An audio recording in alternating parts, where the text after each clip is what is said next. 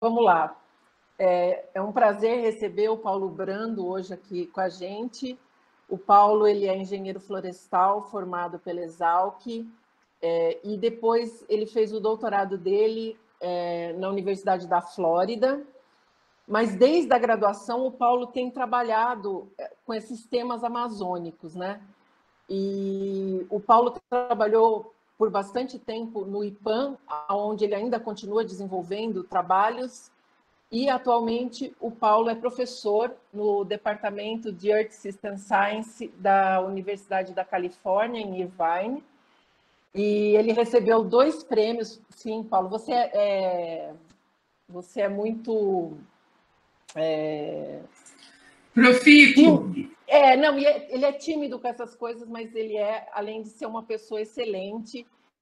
E então, Paulo, muito obrigada pela tua presença aqui é, com a gente hoje. A palavra é sua. Eu, muito obrigado pelas palavras super gentis. Eu não estou vendo ninguém, não estou vendo vocês estão fazendo careta, se estão dormindo, nem os professores. Então, eu estou olhando para minha tela, vou imaginar todo mundo aqui assim. nossa, que interessante.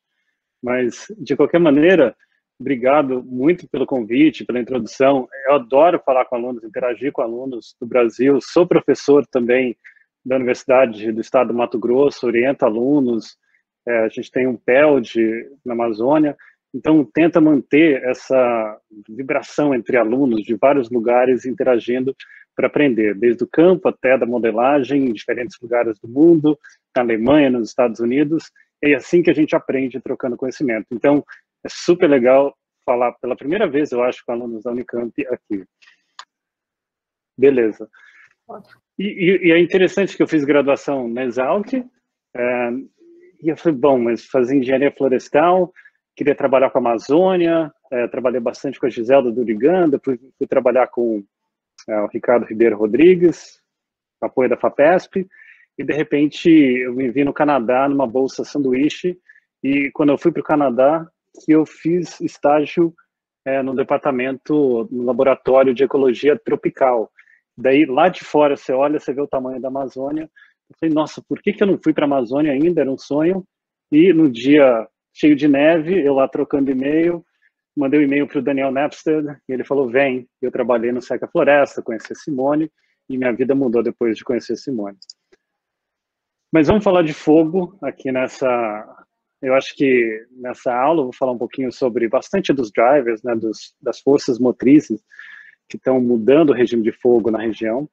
E, e, eu acho que é interessante começar com uma história que, bom, acho que todos vocês, ou a maioria de vocês, ficou atento em 2019, que teve esse, essa tensão da mídia global. É, todo mundo que eu conhecia, pelo menos, me perguntava sobre o fogo de 2019 na Amazônia, que a Amazônia estava em chamas, jornalistas ligando e falando, mas quando a Amazônia vai acabar? Em cinco dias? Em dez dias? com esse tanto de fogo que está acontecendo ou não. E, e, eu acho que teve muita confusão nesse processo. O que está queimando, quando está queimando, tanto que está queimando, por que está queimando. E eu acho que é, um, é, um, é, um, é uma trilha legal para a gente começar a entender o, o, regime de fogo da Amazônia. E, e, eu acho que chama muita atenção, em parte, né, pelo dia é, que virou noite em São Paulo, às quatro da tarde, mas foi um evento muito importante, né, porque trouxe vários aspectos da conservação, da política, da ciência, todos juntos. E, e essa comunicação da ciência para a sociedade foi essencial nesse processo, eu acho, para tentar resolver o problema. E teve uma diminuição na quantidade de fogo, eu diria, pela pressão da sociedade e diferentes grupos, e a gente pode conversar mais sobre isso depois.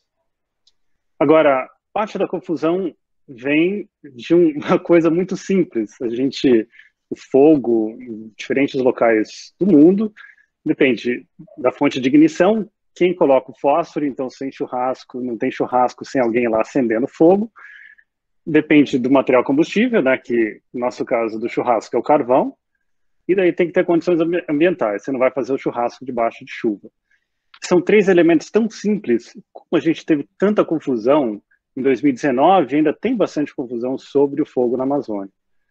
Eu acho que, principalmente por virar, de certa, de certa maneira, um tema político, complica um pouco mais. Mas a ignição, né, no Cerrado tem um pouquinho, tem bastante ignição em alguns lugares, por raio, né? Então, é uma ignição, de certa maneira, natural. Na Amazônia, toda ignição, basicamente, depende de ações antrópicas, ações humanas. Então, é gente manejando a área, é gente colocando fogo acidental, é gente colocando fogo é, criminoso, de certa maneira. E o material combustível pode ser várias coisas também. Pode ser árvore caída ou pode ser árvore em pé. Pode ser a quantidade de folha que tem no chão ou pode ser diferentes galhos. E a condição ambiental é muito importante na Amazônia, né? A rainforest, a floresta que chove. Então a gente tem uma condição muito úmida que não deixa o fogo muitas vezes penetrar, adentrar nessa grande floresta. Então, o primeiro ponto que eu queria fazer, que vocês prestassem atenção e lessem isso aqui, olha, há diferentes tipos de fogos na Amazônia. A gente fala de fogo na Amazônia, mas a gente está colocando um monte de coisa no mesmo saco. E como assim a gente diferencia? Bom, o primeiro, né, tem aquele fogo de desmatamento. Então, tem um fogo de desmatamento que normalmente chama de queimada. Então, ele derruba a floresta, deixa essa biomassa secar, todo esse monte de galho, folha, normalmente daí você tem uma conversão. O fogo, nesse caso, é a última, é a última queimada, é a última etapa do processo de desmatamento. Então, isso eu nem chamo muito de, né, de fogo, na verdade é um processo do desmatamento. Então, imagina o tanto de trator que teria que existir para tirar toda essa biomassa de uma floresta caída. Então, é uma técnica de manejo milenar que é utilizada até hoje para transferir biomassa, o carbono, do chão para a atmosfera. Então, daí você pode ter agricultura. E, e esse, esse, essa biomassa desaparece, ela fica na atmosfera, boa parte, causando o aquecimento do planeta e tem uma contribuição super importante para mudanças climáticas, para a saúde de pessoas e muitas outras coisas. Mas eu queria só, assim, primeiro, fogo de desmatamento, quando a gente olha do satélite, não consegue diferenciar, mas é um processo do desmatamento. Bom, segundo, tem muito fogo aqui de queima de pasto e, em geral, manejo é, de áreas agrícolas e para agricultura. Então, essa é super importante, como vocês sabem, já devem ter visto, já devem ter ouvido falar. E daí tem o terceiro que eu trabalho muito mais, vou falar muito mais aqui, que é o fogo, que é florestal, que é floresta queimando. E normalmente não tem, né? eu já vi, já presenciei um raio queimar uma árvore, começar ali uma queima daquela árvore e no meio da chuva esse fogo não vai para frente. Então, né, em centenas de anos pode ser que tenha ali uma exceção que o fogo é, seja gerado naturalmente, mas aqui isso aí é uma exceção. Normalmente o fogo ou escapa de uma área de limpeza agrícola ou de uma área de desmatamento e adentra a floresta Agora, se a floresta vai queimar ou não, é outra história que a gente vai falar daqui a pouquinho. Tem um outro tipo de fogo que é muito utilizado, que é também de corte e queima, é uma imagem no Xingu, a gente trabalha muito com isso, em outras regiões, populações mais tradicionais, normalmente, que tem esse sistema de rotação de roças, que é super importante também em várias regiões da Amazônia. Bom, vamos falar dos últimos anos, né? Eu falei, tem vários tipos de fogo, né, de queimada, incêndio florestal. E quando a gente olha satélite, é super difícil diferenciar, mas tem maneiras hoje em dia, com sensoriamento remoto, com essas fotos que são tiradas do espaço, de diferenciar isso. A gente vê que normalmente tem bastante floresta queimando, principalmente próximo às bordas, na Amazônia, pelo menos brasileira. Tem também bastante fogo nessa parte de manejo de áreas agrícolas, eu diria que uma parte de pastagem, e daí tem o fogo de desmatamento que varia de ano a ano. Em 2019, é, passou de um terço esse foco de calor, ou pelo menos o que a gente via como fogo do, do espaço, acontecendo por causa do desmatamento. Então, a gente cortando floresta, deixando secar e queimando, isso correu uma escala muito, muito, muito alta. Um exemplo de fogo de desmatamento, esse aqui, mais ou menos, que é uma seringa, mas vamos fingir que é uma floresta tropical. Eu tirei essa foto um tempinho atrás. Mas são árvores colocadas em leiras e são queimadas para limpeza de áreas agrícolas. Então, esse, esse processo, eu diria que é a última etapa do desmatamento da Amazônia. Tá bom? E por que, que eu estou falando isso? Porque a gente tem muito desmatamento, a gente tem muito fogo. Isso aqui é só uma imagem mostrando o mapa de quando o fogo, o desmatamento ocorreu nos últimos anos. E se eu colocasse o fogo aqui, é basicamente esse mesmo processo. Então, onde tem desmatamento, tem queimada para limpeza dessas áreas. Então, e, e, e, onde essas queimadas ocorrem? Isso que é importante a gente saber. Onde está ocorrendo, é, quais são os vetores, quem é responsável por essa queimada. E se a gente olhar para a Amazônia brasileira, ela não é uma só. Né? Tem diferentes tipos de florestas, mas também diferentes categorias fundiárias.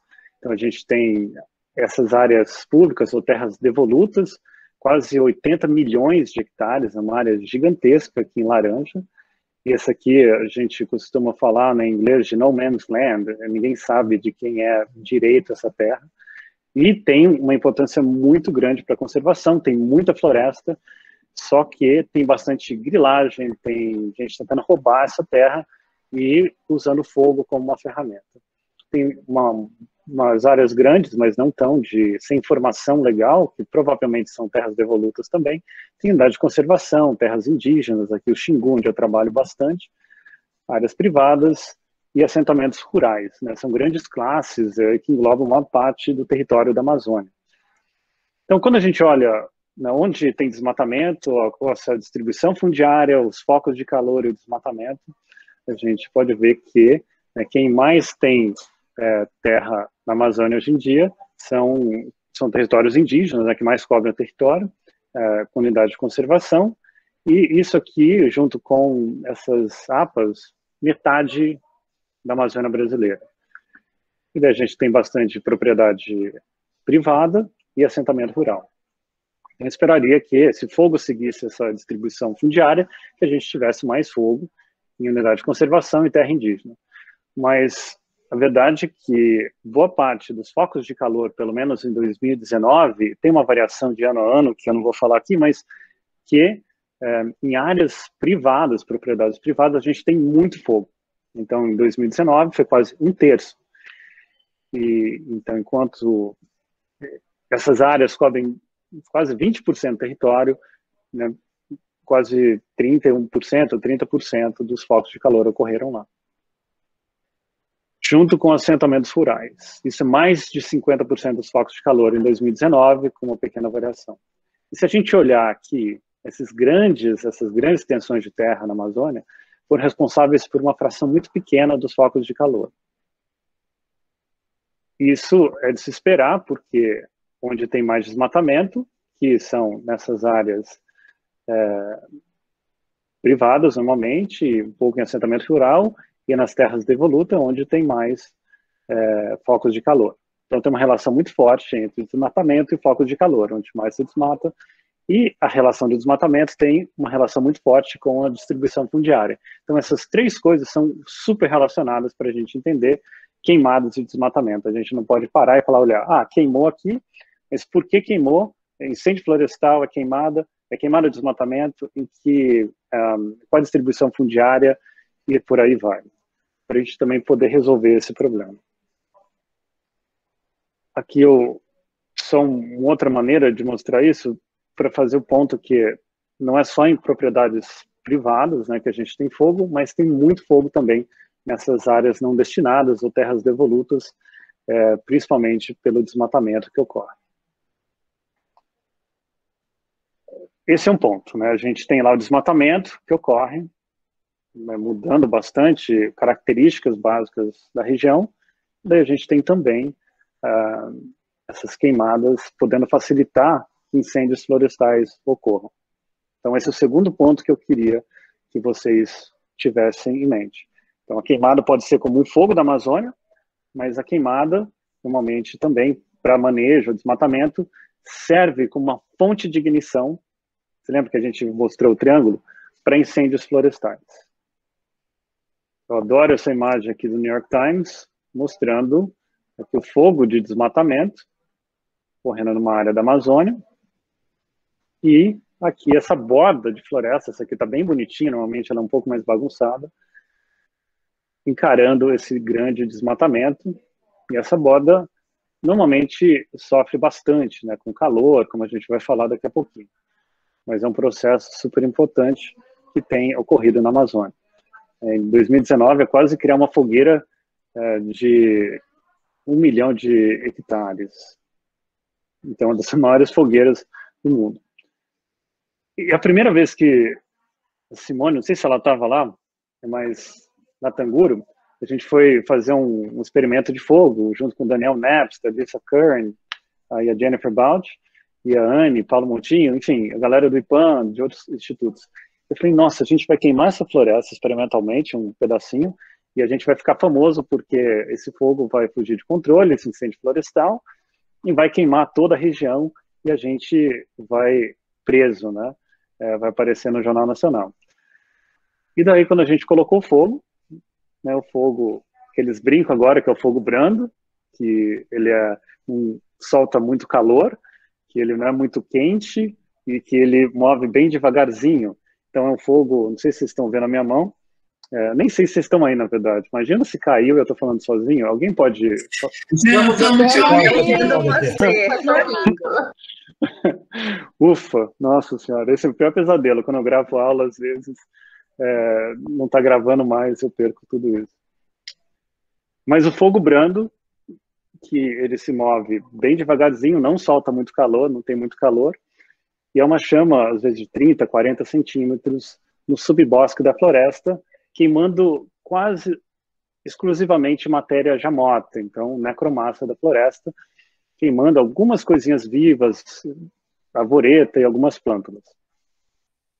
É, a gente encontrou pouquíssimos animais mortos, uma cobra e um ratinho, nesses, nessas queimas prescritas, que eu vou falar um pouquinho depois, porque ele se move, em média, imagina, 30, 20, 25, no máximo 30 metros por hora. Imagina você olhar, né, um terço de quarteirão, essa chama, essa, ela vai queimar. Mas ela pode queimar por semanas ou até meses, em alguns casos, dependendo da condição. E algumas fotos, que eu acho que só para dar uma ideia do que, quando a gente fala de um incêndio florestal na Amazônia, tem exceções, fogo pode ir para a Copa, como aconteceu em partes de Roraima, um, durante uma seca muito, muito forte, 98 e outros anos, mas é algo bastante raro. Né? E essa é uma imagem bem típica de incêndio florestal na Amazônia. Árvores mortas, caídas em clareiras podem gerar essas chaminés de fogo e gerar uma, um hotspot, né, uma área com bastante intensidade de fogo, um fogo que libera muita energia e acaba matando boa parte das árvores. Então, um ponto super importante que eu vou fazer depois é que quanto mais energia fogo é, solta, o release, né, mais árvores ele vai matar e mais impacto vai ter na biodiversidade, obviamente. E a intensidade do fogo depende do quê? Da quantidade de combustível que ele vai queimar, a quantidade de carvão que você vai ter no seu churrasco. Né? Então, é importante. Agora, a gente sempre fala de fogo na Amazônia, como a gente falou em 2019, mas incêndios florestais, realmente, eles são raros na Amazônia. E apesar deles poderem fugir fora do controle em anos secos e quentes e em bordas de floresta. Mas uma floresta primária, no meio da Amazônia, sem fragmentação, sem grandes transformações, basicamente é muito raro essa floresta queimar. E isso se dá em parte, esse é um trabalho brilhante do David Ray, do Daniel Napstead, que o subbosque da floresta é muito úmido. E essa figura, eu não tenho muitas, né, não quero que é, fique muito confuso, mas eu queria só mostrar aqui que tem um valor que eu quero que vocês levem para casa com vocês, que vocês pensem o tempo todo com vocês quando tiver alguém falar de incêndio florestal na Amazônia ou até em outros lugares, na Mata Atlântica, Cerradão. E é esse aqui, ó. Esses dois. Essa déficit de pressão de vapor é a secura do ar. É quanta umidade o ar pode reter, menos a quantidade de umidade que ele retém. Então, se a temperatura do ar esquenta, o ar expande e cabe mais água. Então, esse déficit, a secura do ar aumenta. e é super importante para o fogo. Então, conforme o fogo aumenta, né, essa secura do ar aumenta, você tem uma, uh, uma perda de umidade do material combustível, de folhas que estão ali no piso da floresta. E isso faz com que a floresta fique inflamável. É, na maior parte do tempo, na maior parte do tempo, a floresta amazônica vai estar com uma quantidade de umidade aqui, ó, aqui perto. Então, não vai ter fogo, né? É muito difícil. E se a gente olha essa relação, que eu acho que é super interessante, a gente vê aqui um limiar de mais ou menos 23% e 1 kPa de VPD. Então, esse é o ponto que o David Ray descobriu que uma floresta se torna inflamável. É um ponto teórico, né, que acima de 23% de umidade da serrapilheira, dessas folhas no chão, a floresta, o fogo não vai pegar. Então, eu queria que vocês levassem esse número para casa, 23%. Isso é bastante ou é pouco? maior parte do tempo, o VPD de floresta vai estar abaixo de 1 e a umidade da serrapilheira vai estar muito acima de 23. Então, só em situações muito raras é que a floresta vai ter um microclima que permite a entrada do fogo. Floresta primária, que eu estou falando. Em parte, isso se dá pelas raízes profundas dessas árvores. Essa aí é uma árvore, acho que eu peguei de um, de um paper do Yadvinder Mali. Então é em Sabá, mas vamos fingir que é uma árvore amazônica. Que você tem árvores gigantescas e com raízes chegando até 10 metros, 14 metros. O Daniel diz que encontrou até 18 metros de profundidade essas grandes raízes. E elas têm um acesso de água gigantesco para manter a fotossíntese, para manter vários processos que permitem um resfriamento da região inteira, que o subbosque dessas florestas, perto do chão, debaixo do, do céu, fiquem úmidos. Pode até estar tá quente, mas tem muita umidade. E isso faz com que essa serrapilheira nunca tenha um valor abaixo de 23, são casos muito raros. Agora, isso sempre acontece, é infalível, a floresta tem um acero natural que é infalível? A resposta é não. E essa é a grande preocupação que a gente tem hoje em dia.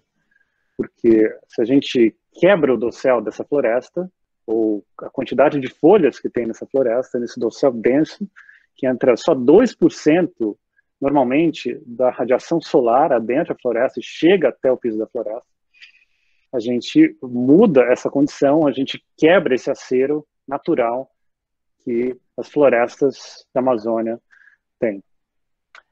Então, aqui, o primeiro deles é através da mortalidade de árvores. Então, se a gente mata mais árvore, a gente mata mais galho, a gente mata mais folha, o dossel vai se abrir.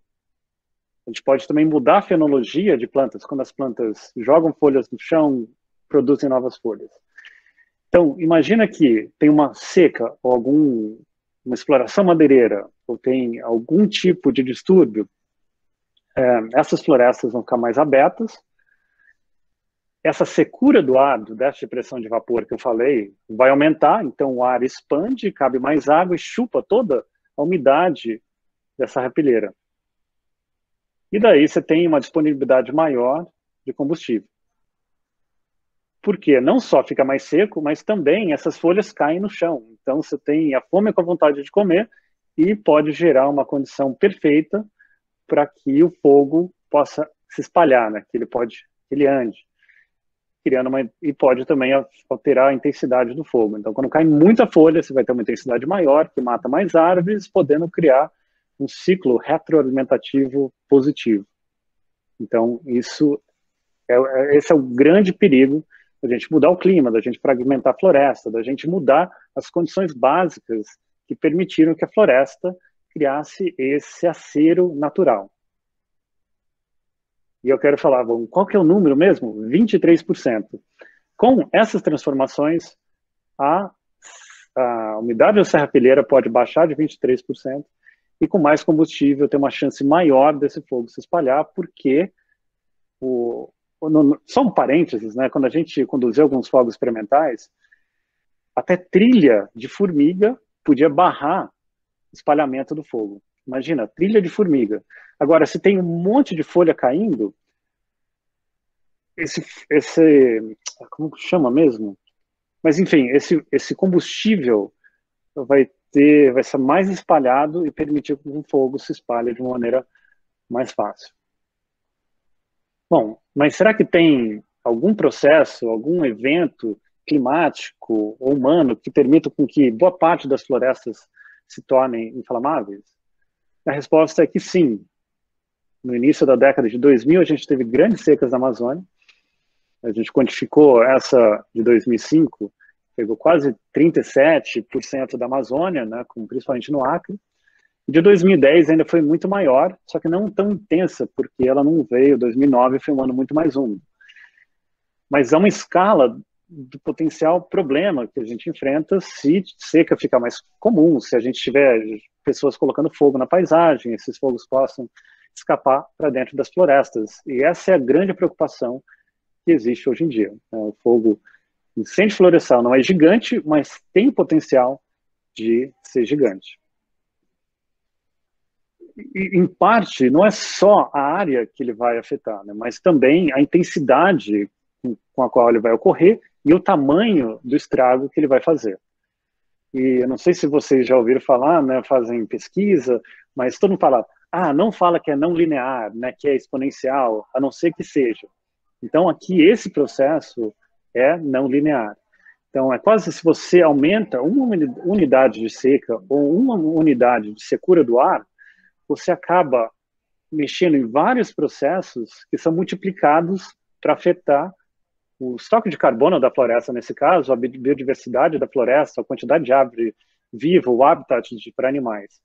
Porque você seca a atmosfera, né, ou tira a umidade do solo, você vai mudar o microclima da floresta, você vai mudar a quantidade de combustível, você vai mudar a taxa de espalhamento, você vai mudar o consumo de combustível, você vai mudar a intensidade do fogo, a quantidade de área queimada, e tudo isso vai ser o efeito do fogo na floresta, e isso vai criar um feedback positivo, se for uma escala mais local, com a quantidade de combustível, ou até mesmo afetar padrões climáticos.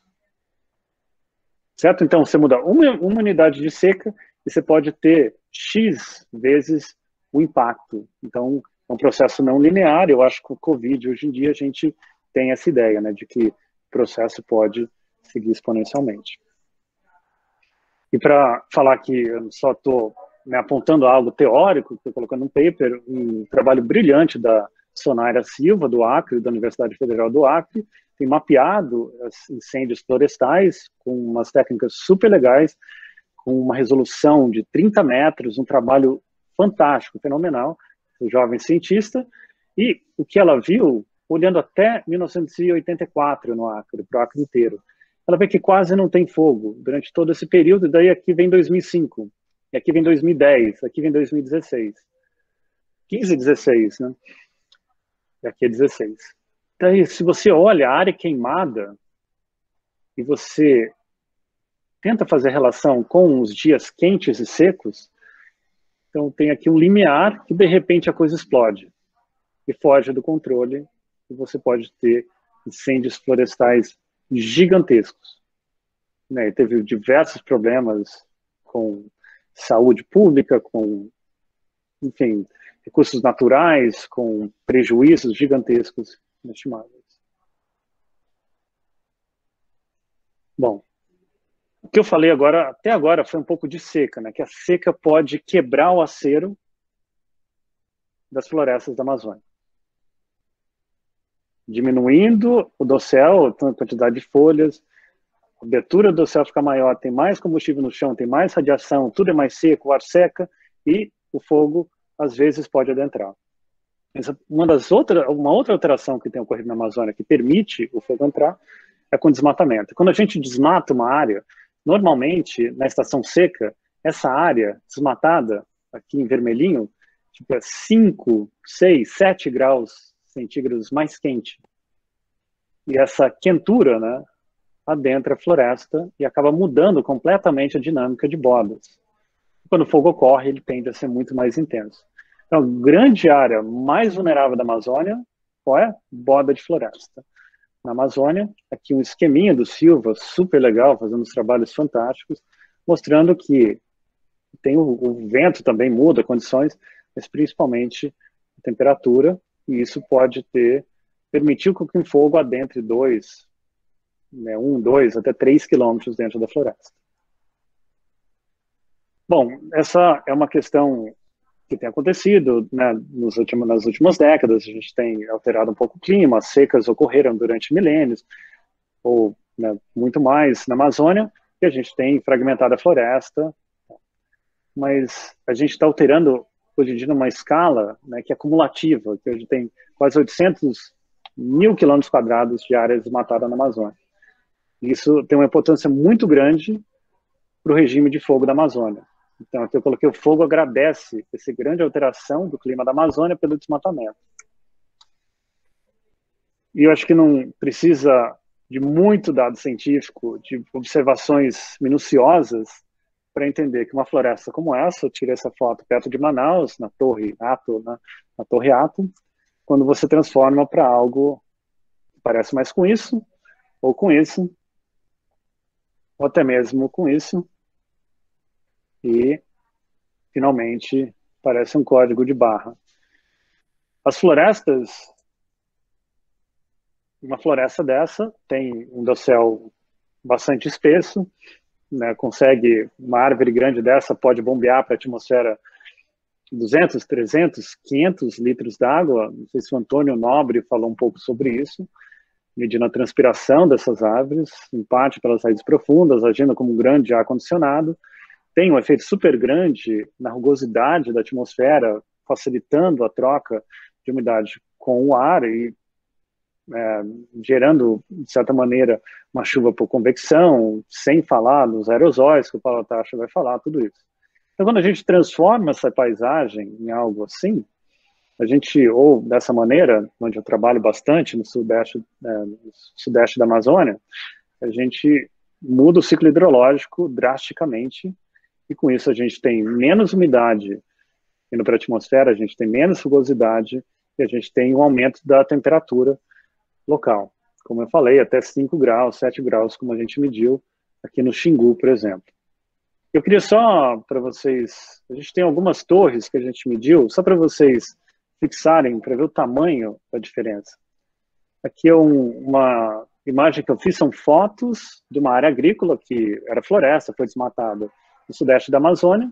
E aqui, nesse primeiro, desculpa o inglês, water cycling, evapotranspiração, a capacidade do sistema de ciclar água. E aqui é a quantidade de carbono assimilado por, por esse sistema. Então, mais negativo, aqui mais para baixo, mais carbono sendo assimilado. Isso ao longo do tempo. Então, vamos lá ver o que acontece. Então, aqui é o solo exposto, não tem quase água ainda para a atmosfera, não tem quase carbono sendo assimilado. Então, começa a chover um pouco, tem um aumento da evaporação, não é transpiração, porque não tem planta. Lembrando que a transpiração é a evaporação que acontece dentro da planta. Tem lá a, um cover crop, né, uma, uma plantação de cobertura, Daí plantou a soja, tem uma absorção aqui de carbono, tem uma evapotranspiração razoavelmente alta, e daí coloca o sequeiro, tal, tem o secante, e isso diminui. Meio lógico, né, que isso aconteça. Quando não tem vegetação, você não tem quase evapotranspiração, é, tem mais um, evaporação. Agora, se a gente comparar isso com uma floresta, como acontece? E aqui, agora, um campo né, que a gente acabou de ver está em laranja, e uma floresta está em verde aqui. Isso aqui que a gente mediu no sudeste da Amazônia. Então, olha a diferença entre esses dois. Então, mesmo quando não tem chuva, na estação seca, a floresta tem uma capacidade grande de manter a evapotranspiração alta. Tem uns, alguns períodos aqui no final de setembro que pode reduzir essa capacidade, então as plantas têm que reservar, não pode gastar tanta água, e isso faz com que o sistema fique um pouquinho ali mais seco e tal. E nessas securas né, da vida da floresta, pode ser que o fogo entre em alguns anos extremos. Mas, em geral, a floresta tem uma capacidade muito, muito maior, mesmo durante os períodos de mais produtividade da soja, de ciclar água, de bombear água do solo para a atmosfera. Pelo menos nesse nosso experimento, não é sempre assim. Né?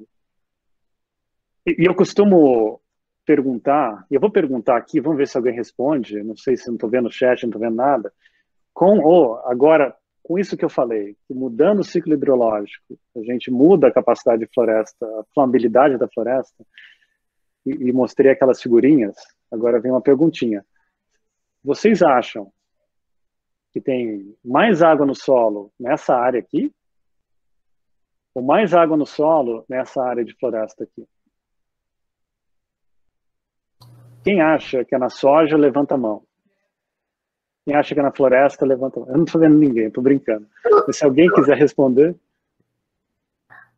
Eu acho que deve ser na floresta que tem mais água no solo, né? Ou talvez não, porque. Não, não, mas eu acho que sim. Não, deve ter na soja mais água no solo. Essa é uma boa a pergunta para a prova, né? A soja está ganhando na votação aqui. É, a soja está ganhando no chat. Está ganhando? A Nossa, mas... Tá ganhando. Mas todo mundo fala, tem que plantar floresta para ter água, não é isso?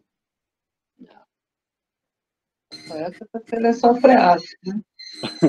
Tô brincando. É um tricky question, é uma pergunta que faz a gente pensar, porque se a evapotranspiração de uma floresta é maior, então tem mais a água do solo sendo transferida para a atmosfera. Só que você tem uma distribuição da água ao longo do ano muito mais constante.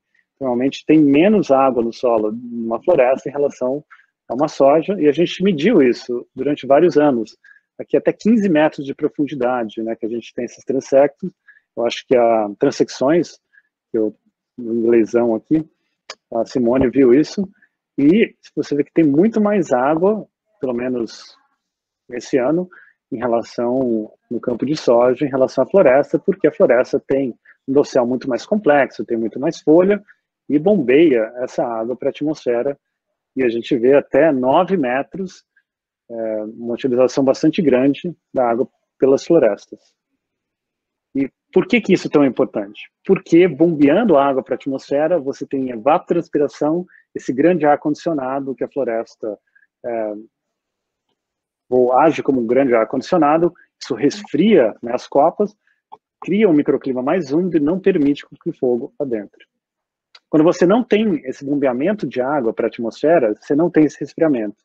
Isso aumenta a temperatura desses campos de soja e faz com que essas bodas fiquem muito mais vulneráveis ao fogo, muito mais inflamáveis.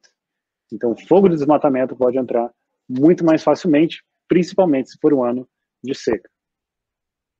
E tem muita borda de floresta na Amazônia? Bom, em algumas regiões não, em outras regiões tem bastante. Onde eu, onde eu trabalho aqui, eu deveria ter colocado o filminho, esqueci. 19 mil quilômetros quadrados de desmatamento só aqui em 20 anos, uma área muito grande. Lembrando que no desmatamento da Amazônia varia entre 9, 10, está crescendo para 11, mas mil quilômetros quadrados. E cerca de 16% das florestas dessa região estão próximas a uma borda, estão próximas a um campo aberto já. E a tendência é que mais florestas da Amazônia fiquem próximas a esses campos abertos. Com mais floresta exposta a campos abertos, mais fonte de ignição pode iniciar aquele fogo e mais áreas ficam vulneráveis. Ah, essa era a temperatura de superfície, desculpa. Então, tem, a gente fez umas continhas, é quase assim, para cada 10% de desmatamento na Amazônia, você tem um aumento de 0,5 grau na temperatura da superfície. Então, se você desmatar 100%, na média você aumenta 5 graus. E tem cerca, uma redução de, que varia de, uh, pode chegar até é, 50 milímetros de evapotranspiração, que pode chegar até 500 milímetros no final, se for solo exposto. É, então, é uma diferença muito grande a evapotranspiração é, com desmatamento. E tem alguns trabalhos super interessantes da Home Full e outros que saíram depois, mostrando que, em parte, por causa desse desmatamento nessa região, principalmente no sudeste da Amazônia, você até tem um prolongamento da estação é, seca, então uma estação chuvosa mais curta. Então, mais tempo para queimar. A estação de fogo se alongou nessa região, na média. Algo que vai se tornar ainda pior no futuro com mudanças climáticas. Bom, até aqui eu falei sobre tem queimada, tem por que, que existe queimada, quais são as classes fundiárias, quem queima, onde queima. Eu falei, bom, a gente tem incêndios florestais que são diferentes, mas são afetados pelas atividades de queima de desmatamento, pelo desmatamento em si. Então, e também interagem com secas, podem gerar incêndios florestais. É, nos anos 2000, cerca de 85 mil quilômetros quadrados queimaram principalmente nessa região mais seca da Amazônia. Eu trabalho bastante aqui. E se a gente olha para essa região que eu trabalho bastante, quando teve uma seca, você tem muita área queimada. No Xingu, em 2007, mais de 10%, cerca, cerca de 10, 11% do parque indígena do Xingu queimou. Algo que nunca tinha sido visto até então, pelo menos até 84. E em 2010, cerca de 5 a 7% do parque indígena do Xingu queimou. E daí vem uma pergunta que Daniel, Napster e outros, eu entrei no meio, assim, bem no meu início do doutorado, o que, que acontece quando uma floresta queima? Aqui é uma imagem aérea do nosso experimento de fogo no sudeste da Amazônia, a gente ainda uh, tem várias medições, e tem essas parcelas de 50 hectares. Tem um controle, uma parcela que foi queimada a cada três anos, de, de 2004 a 2010, uma parcela queimada todo ano, e hoje a gente avalia a recuperação dessa floresta. E daí outra pergunta para vocês, vocês acham que um fogo, se você queima repetidamente, com intervalo de três anos, em relação a um ano, qual vai ser mais impactado? Qual vai ter um efeito pior para a vegetação? Queimada cada três anos ou queimada a cada ano?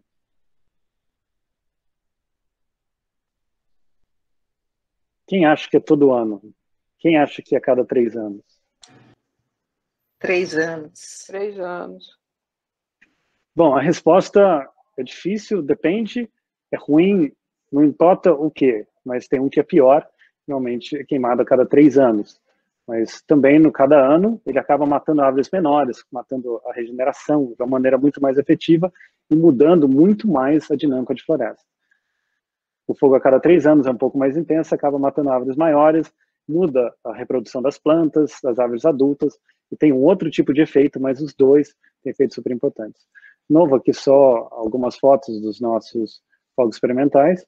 E esses impactos desses incêndios florestais são super complexos. Então, a gente teve várias surpresas é, conduzindo esses fogos experimentais e a gente mediu tudo que a gente podia de vegetação, de é, dinâmica de fluxo, de carbono, de água, etc., antes do fogo, a gente mediu as características do fogo e tem avaliado as consequências desses incêndios até hoje, 10 anos depois dessas queimadas.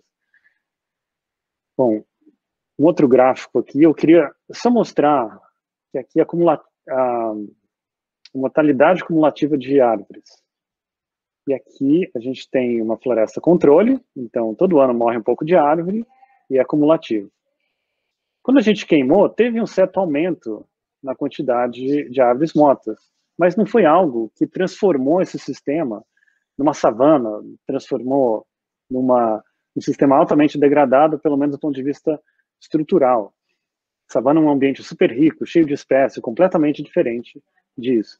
Mas quando ficou um pouquinho mais quente, ou 3 graus mais quente, em 2007, e 20% mais seco, o fogo que a gente colocou matou 60% das árvores. Perto da borda, esse efeito foi muito maior, então chegando até 90% em alguns casos, e o efeito do fogo foi extremamente danoso à floresta perto da borda. Por quê? Porque a umidade da serrapilheira caiu de 23%, foi abaixo, e a gente tem um dossel mais aberto, tem mais material para queimar, o fogo é mais intenso e acaba matando muito mais árvore. Então, no geral, o fogo pode ter um efeito muito danoso no curto prazo, se a gente tiver uma combinação de fatores. Ou quase não tem impacto visual, pelo menos, se esses fatores não se alinharem. O grande problema é que os fatores estão se alinhando e a condição mais seca, com mais borda, mais material combustível, são mais comuns na região. Essa é uma imagem de LiDAR de avião, são lasers, milhões que são jogados na paisagem e tem um tempo de retorno para o sensor e com esse, a distância percorrida por esse laser e o tempo de retorno você consegue reconstruir o 3D da floresta. Então, cada couve-flor aqui é uma árvore bem alta de 30 metros. E aqui é a borda da floresta, é um campo de soja, e você vê que aqui é a parcela, aquele tratamento queimado a cada três anos. E a gente pode ver aqui toda essa área basicamente destruída sem nenhuma árvore grande. E nessas outras áreas, ela é muito mais aberta, mas as árvores menores que sofreram mais. Então, a quentura e esse vento que vem das áreas dos campos agrícolas acabam potencializando o efeito do fogo, porque o fogo é muito mais intenso, e a nossa borda, que era de 30 metros, virou de 50, virou de 100, virou 200, virou 500 metros hoje em dia. É, então, é super importante. E só uma imagem para mostrar que bordas no Xingu, mesmo dentro da reserva, principalmente perto dos rios, estão se tornando cada vez mais comum e cobrem uma fração importante, significativa da paisagem. Então, quando a gente fala de mudança no clima, a gente pensa, normalmente, eu né, sempre pensei em precipitação, temperatura do ar, mas tem uma mudança na superfície de temperatura que é tão importante ou, even, ou até mais importante nesses processos. E aqui o nosso experimento de fogo, a gente vê a distância da borda, e se a gente coloca a temperatura, a gente tem um aquecimento até 500 metros, 800 metros, devido a esse campo de soja. Agora, qual o impacto do fogo na biodiversidade? Porque isso estava no meu título, então foi, nossa, tem que colocar alguma coisa aqui, né?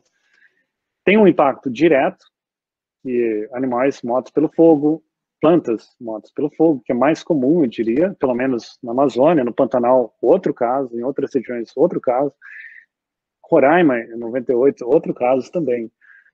É, e esse efeito direto tem uma relação muito forte com uma característica das plantas, né?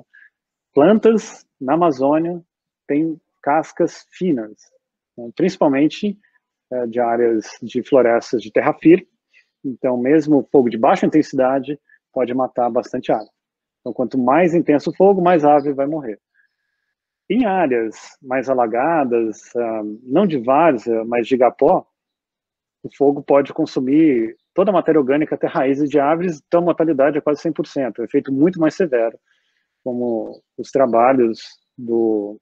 Nossa, é, fugiu o nome. Bernardo Flores tem mostrado. E tem um efeito indireto, que é a mudança no habitat, mudança na competição entre espécies, mudança na disponibilidade de recursos. Que também é super importante a gente ter estudado algumas dessas coisas.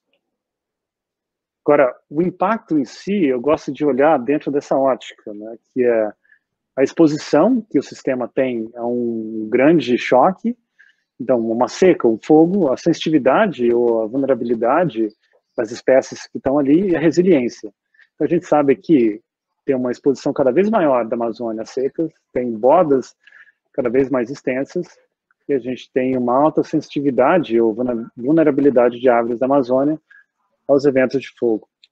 Daí vem uma questão de resiliência, né, que é toda essa complexidade do sistema se permite esse sistema é, se recuperar de alguma maneira ou pelo menos crescer de alguma forma que recupere alguns dos serviços ou funções quer dizer, a biodiversidade.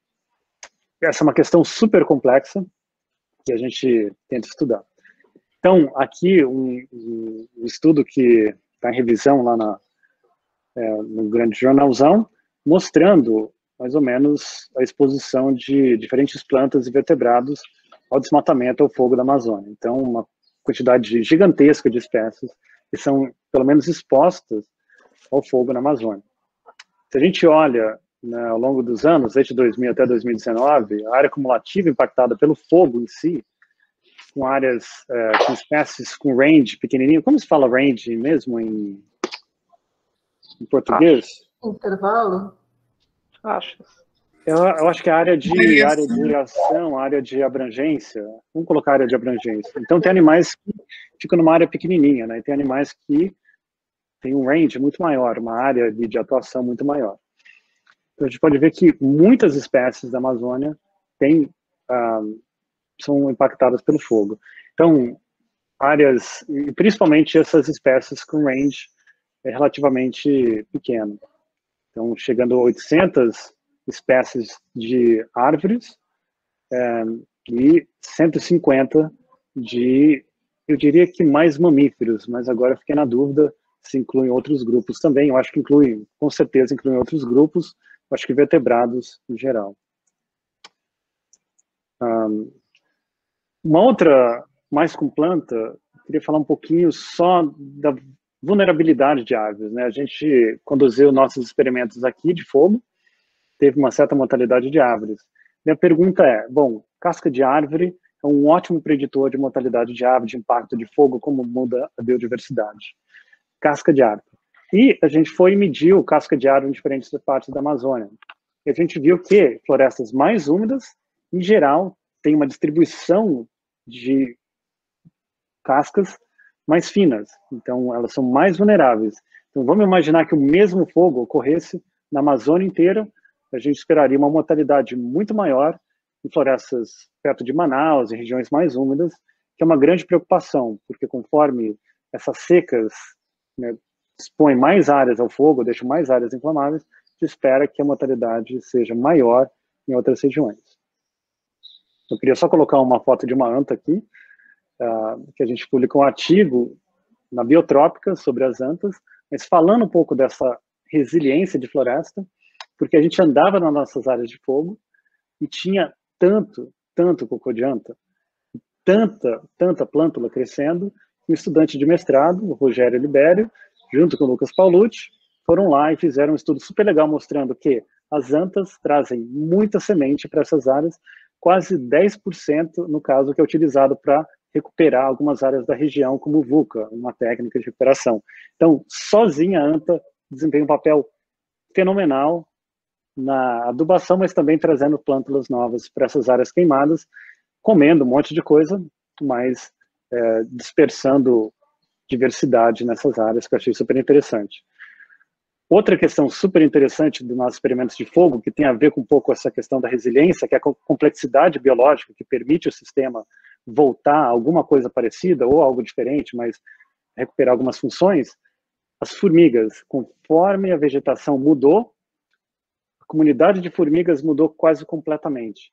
E a comunidade de formigas, que ficou muito mais comum nessa área degradada pelo fogo, foi, é, foi, foram formigas de savanas e algumas invasoras, mas principalmente formigas de savanas. Então, o grande problema é que a resiliência da floresta existe lá. Né? Florestas são adaptadas a sofrerem com seca, ou ter algum tipo de distúrbio, queda de árvore, um monte de coisa. O problema é que a gente tem com mudanças climáticas, mudar a probabilidade de seca, a gente, com desmatamento, a quantidade de boda, exploração madeireira abrindo do céu, tirando os animais, reduz um pouco essa complexidade, ou bastante na né, capacidade do sistema de recuperar.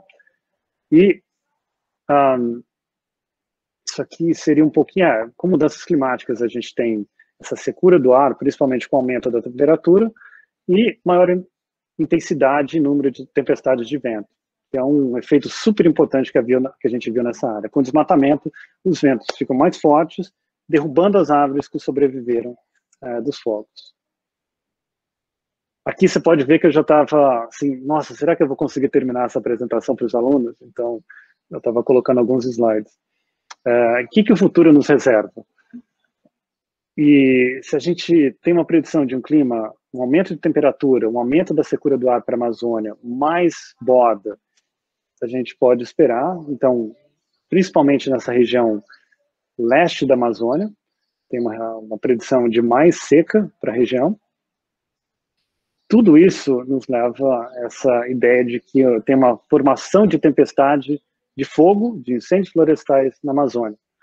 Então, se a gente considera mudanças climáticas no cenário plausível e desmatamento no cenário plausível, a gente espera que tenha aí, cerca de 16 é, petagramas de CO2 jogados na atmosfera por causa de desmatamento de fogo na Amazônia, principalmente incêndios florestais, fogos migrando de áreas mais abertas em áreas privadas para dentro de reservas, terras indígenas, que gera uma preocupação muito grande. Então, o problema de fogo, incêndios florestais na Amazônia, não vai embora, pelo menos do ponto de vista teórico de florestas ficando mais inflamadas.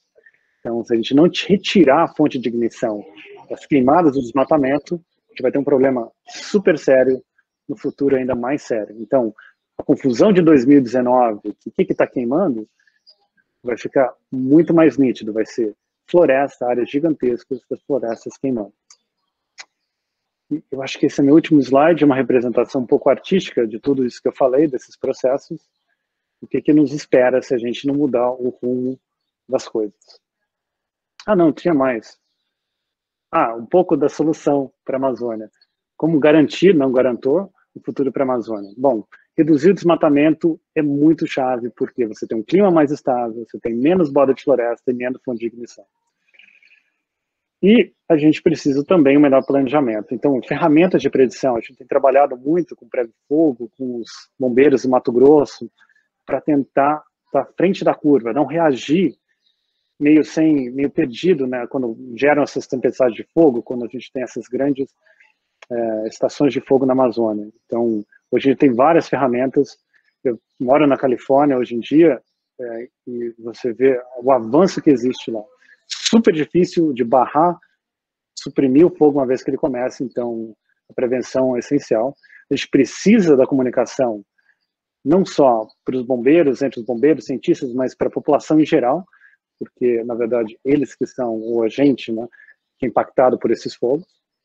A gente precisa do engajamento da sociedade, em geral, né, nesses temas, não só se preocupando, mas votando e fazendo uma transformação geral do nosso sistema de gestão dos recursos naturais. E eu acho que era isso que eu tinha para falar. Paulo, muito obrigada pela aula. É, tem algumas perguntas no fórum e acho que tinha uma pessoa com a mão levantada, deixa eu ver se ainda está. É, Sérgio, você que está com a mão levantada, você quer fazer uma pergunta?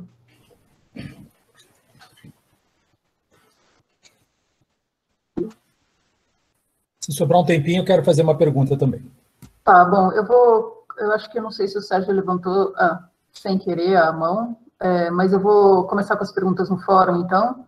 Ah, tá. Então é que você está com a mão levantada, Sérgio. Eu vou começar com as perguntas do fórum, depois. Uh... Muitíssimo obrigada pela aula, então, novamente. O Victor Mal perguntou é, quais são as ações mais estratégicas hoje a serem orquestradas pela sociedade civil organizada, considerando o quadro sociopolítico nacional global, para evitar a vertiginosa perda de resiliência da Amazônia? Ah, super fácil essa pergunta, né? Não, o principal passo é reduzir o desmatamento. É o grande elefante branco na nossa frente que a gente tem que reduzir o desmatamento. Como se reduz o desmatamento? A gente sabe fazer isso. A gente reduziu em 80% o desmatamento de 2008 a 2014, parte por causa de áreas protegidas, implementação barrando o avanço do desmatamento, parte de questões muito mais complexas é, econômicas, e parte de uma ação efetiva do governo, colocando mais de 80 ações é, implementadas, integrando todos os ministérios. Então, a gente sabe mais ou menos como reduzir o desmatamento na Amazônia. Agora, é um esforço monumental de todo mundo, é, do governo, né? Então, e o engajamento do setor privado. Hoje, eu vejo que o setor privado, é, principalmente aqueles que investiram sustentabilidade na cadeia produtiva durante 20 anos, para ter acesso a mercados da Holanda e outros locais, tem um papel chave né, influenciar, eu acho que, é, decisões que levem ao desmatamento ou não. Em 2019, né, teve uma certa pressão é, de setores produtivos para que o fogo fosse controlado, as queimadas da Amazônia 2019 fossem controladas. Uma pressão externa. Esse é um pouco saindo da minha área, mas eu trabalho bastante conservação, mas eu diria que reduzir o desmatamento é chave. Ah, eu diria que a segunda parte tem que diminuir ou mitigar né, ações climáticas e tem que ter ações de adaptação. é, hoje em dia. Não, mitigação do clima, ou pelo menos diminuir a taxa de mudanças climáticas, não é suficiente. Precisa, pode ter o Acordo de Paris, dificilmente a gente vai chegar lá, mas tomara que a gente chegue. E se a gente não chegar, mesmo a gente chegar, a gente precisar de algumas ações de adaptação. Isso né, em terras indígenas, setor produtivo e por aí vai. É, aqui tem uma pergunta do Frederico Salme. Ele está dizendo, ele está se referindo ao seu esquema de Brando et al. de 2019 sobre as relações vegetation-weather. Percebi que não há componentes sociopolíticas. Na sua experiência, quais componentes sociais podem ser incluídos neste esquema analítico para uma compreensão mais ampla das causas? Acho é super importante. Pode falar, não. Gabriel. Só, só que ele está citando algum paper seu de 2019. Eu acho que eu sei qual é. Um, todos aqueles elementos né, que eu falei, vamos tentar simplificar os três elementos do fogo, que é ignição, material combustível e condições ambientais. Quem é ignição? Gente, pessoas. Então, onde a gente pode eliminar o fogo da paisagem, eliminar a queimada, a gente tem que eliminar. Essa é chave, essencial. Desmatamento ilegal é fogo ilegal, é queimada ilegal. Então, esse é o primeiro ponto. Né? Então, é uma questão socioeconômica super importante. Segundo, onde não dá para simplesmente eliminar um fogo, porque tem populações tradicionais, povos indígenas, outros tipos de atores que dependem do fogo para sobrevivência, tem que ter uma certa adaptação para esses sistemas, que é a ignição. Agora, a gente tem os outros dois componentes, né, que são a quantidade de material combustível, que é o manejo de floresta, a quantidade de borda. Tudo isso tem a ver também com ações humanas e tem o ambiente ali, que é o clima, que a gente está alterando o clima do planeta e da Amazônia. Então, são todas ações que dependem de integrações com a ecologia, com mudanças climáticas, com a, a ciência climática. Eu acho que eu ia falar alguma coisa super genial, esqueci. Eu tô falando é, tem, tem, mais duas perguntas aqui no chat. Uma é do Marcos Rogato, ele está perguntando se a pressão norte-americana e a necessidade de políticas ESG, que eu não sei o que é, nas empresas privadas ajudam a diminuir o desmatamento. A minha resposta curta, eu não sei. Né? Agora, os elementos que levam ao desmatamento são super, acho que conhecidos. Então, transparência na cadeia produtiva, né, responsabilidade, é, como é que fala, é, responsabilidade é, na cadeia produtiva em geral, transparência, é, toda a questão de fundiária da Amazônia, todas essas são questões super importantes para reduzir o desmatamento. Então, você tem, a gente sabe quem tem terra na Amazônia, mais ou menos, o cara ajuda, mas a gente não sabe direito. Isso gera uma insegurança gigantesca que leva ao desmatamento. Então, será que uma pressão vai levar o governo, o setor privado a se organizar e ter uma questão fundiária mais, eu acho que limpa, né, dentro da Amazônia? Essa é uma questão chave. É, eu acredito que qualquer tipo de ação integrada entre governos que levem né, uma sustentabilidade da região tem fator positivo. Uma pressão específica para reduzir o desmatamento, eu não sei se teria o efeito que a gente espera. Agora, para falar, todas as nações precisam contribuir para a estabilização do clima, e o Brasil tem contribuído para o inverso nos últimos anos, eu acho que é uma pressão, eu acho que válida e deve ser feita porque o que acontece na Amazônia né, afeta o planeta inteiro, né? Então, a quantidade de CO2 indo para a atmosfera não fica na jurisdição do Brasil. Paulo, é, eu, eu, vou emendar com uma pergunta minha, na verdade. Eu fiquei com, com, uma certa dúvida que a Cristiana meio que respondeu, quando você mostrou as diferentes áreas na Amazônia, tinha as áreas amarelas e laranjas. Umas eram propriedade privada mesmo, e outra você chamou de assentamentos. Esses assentamentos são, tipo, é, assentamentos de, de, pequenos produtores, é isso? Isso é uma Sim. coisa feita por quem? É, é uma coisa regida pelo governo, pelo governo ou pelos próprios que se organizaram? E, e, se você acha que isso, porque ali era um dos focos de queimadas, eram nessas duas tipos de área onde tinha mais queimadas, né? Então, Sim. a minha pergunta é se as, as propriedades particulares seriam os latifundiários, os assentamentos seriam os conjuntos e se teria como reeducar essas pessoas, os latifundiários eu não sei, porque eu não tenho muita fé nos latifundiários como um todo, mas talvez essa parte de assentamentos, que é uma parecida em parte grande, teria como reeducar essa população. Olha, foge um pouquinho do que eu tenho trabalhado no dia a dia, né? Mas quando eu morei em Santarém, naquela região toda, são assentamentos do INCRA, uma parte.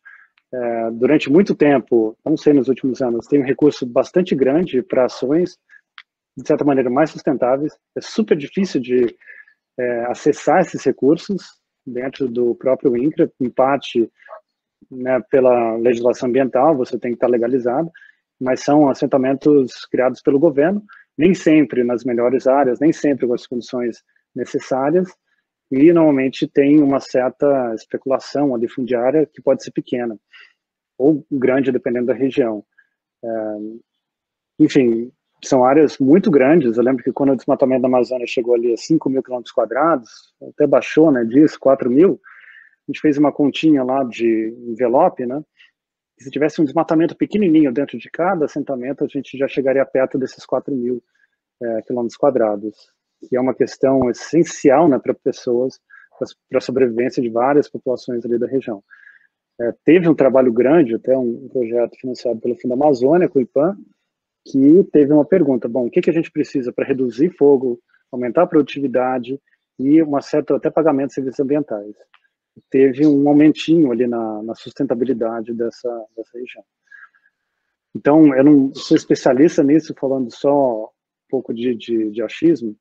Agora, em áreas grandes, áreas grandes, rurais, né, se você está legalizado, se você tem o seu CAR feitinho, se você está dentro do sistema, né, se tem um fogo ali, ele é ilegal, né, você toma uma multa pelo correio, se tem um incêndio florestal.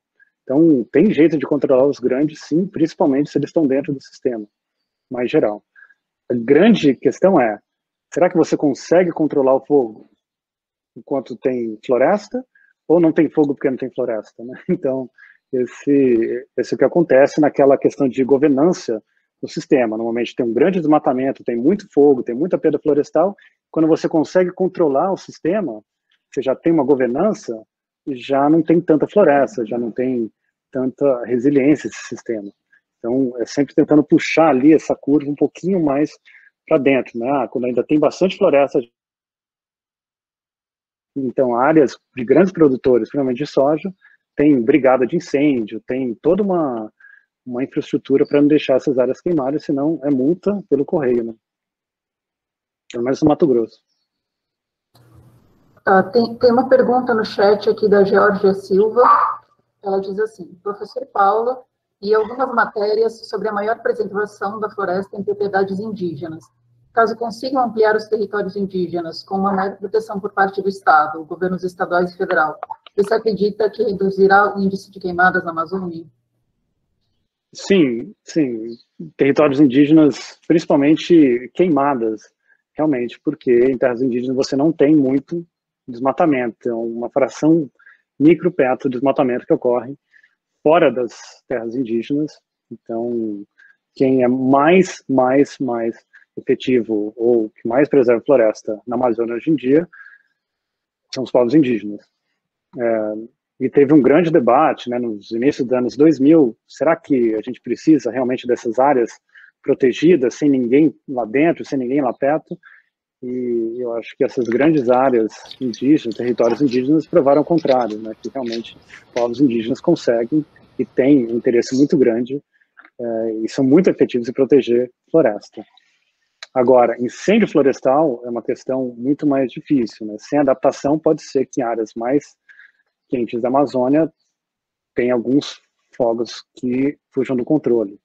E a gente tem que lembrar que se a gente tiver uma área grande, contígua, inflamável, uma fonte de ignição pode gerar um incêndio de 20, 30, 40, 50 mil hectares. Eu estava lá no Novo México, uma linha de força, um poste caiu, iniciou, deu uma faísca, iniciou um fogo, no Novo México de 20 mil, se não me engano, hectares, custou alguns bilhões de dólares invadiu um laboratório onde foi desenvolvida a bomba atômica, né? chegou lá perto.